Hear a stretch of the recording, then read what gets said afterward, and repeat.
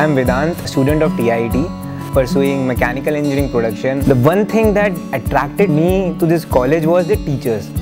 Teachers were so good, so involving, and so caring for the students that whenever you want to go talk to them, you can go.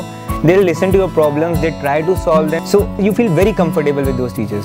The campus is so huge, having everything in it like uh, center of shopping, playgrounds for football, cricket, table tennis, lawn tennis. Currently, I've experienced the placement session here. I'm placed in Deloitte. All credit goes to our TIET that I can come here and speak so frankly in public speaking. They help to develop skills by giving presentations, GDs, interview sessions, and everything. Thapar University supports placement in full terms. They develop you overall, not just the technical side of yours.